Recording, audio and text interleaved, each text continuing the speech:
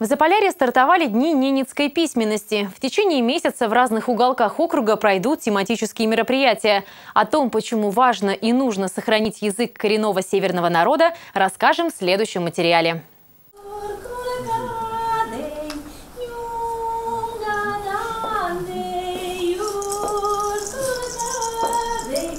Краеведческом музее Ненецкая речь звучит не просто так. Здесь в неформальной обстановке собрались те, кому не безразлична судьба родного языка. Народа немного, но для каждого событие важное. С 18 ноября по 18 декабря в округе будут проходить Дни Ненецкой письменности. Мероприятий более 70 для жителей всех возрастов. Давайте все вместе подумаем, что мы еще можем сделать для того, чтобы ненецкий язык был сильнее и реализуем эти мероприятия, чтобы добиться главного, чтобы низкий язык не умирал, звучал, чтобы в нем разговаривали дети. И очень радостно сегодня видеть здесь молодежь.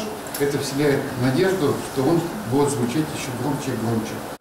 Благодаря лингвисту и этнографу Георгию Прокофьеву, первому ненецкому ученому Антону Пырерко и филологу и североведу Григорию Вербову в 20-х годах прошлого века зародилась ненецкая письменность. Все трое приняли непосредственное участие в создании первого ненецкого букваря и внесли огромный вклад в развитие культуры северного народа. Нужно пройти большой путь развития для того, чтобы у каждого народа появилась своя письменность.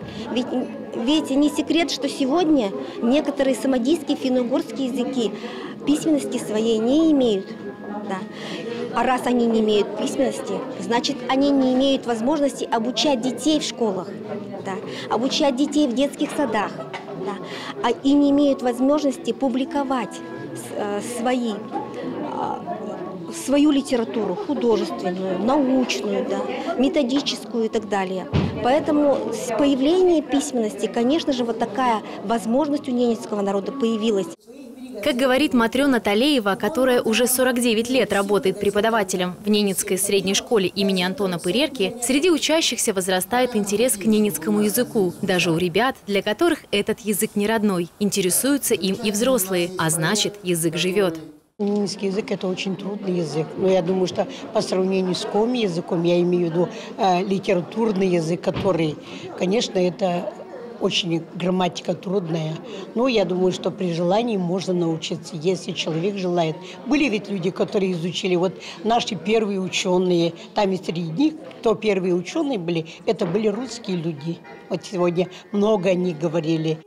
Строчка из известного стихотворения Прокопия Евтысова гласит «Мой ненецкий язык сильнее ветров полярных». И хочется верить, что язык маленького, но гордого, сильного и трудолюбивого народа будет жить. Екатерина Дементьева, Дмитрий Лукевич, телеканал «Север».